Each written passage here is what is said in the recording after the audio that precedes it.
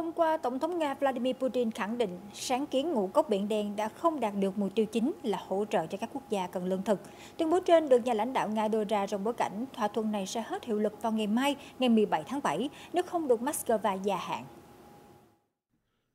Trong cuộc điện đàm với người đồng cấp Nam Phi Cyril Ramaphosa, Tổng thống Putin cho rằng mục tiêu chính của sáng kiến này đã không được thực hiện đầy đủ. Bên cạnh đó, nhà lãnh đạo Nga cũng nhận định việc dỡ bỏ hạn chế xuất khẩu lương thực và phân bón của Nga theo tinh thần một bản ghi nhớ khác với Liên Hiệp Quốc vẫn chưa được thực hiện.